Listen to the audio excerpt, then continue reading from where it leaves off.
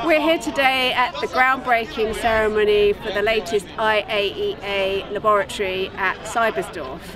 This new laboratory is going to play a key role in ensuring global food security. For example, by using nuclear science to ensure that crops are disease resistant. The laboratories will also be using nuclear science to develop crops which are heat resistant and drought resistant. So this is an important part of ensuring climate adaptation. The laboratories also have an important role to play in monitoring climate change.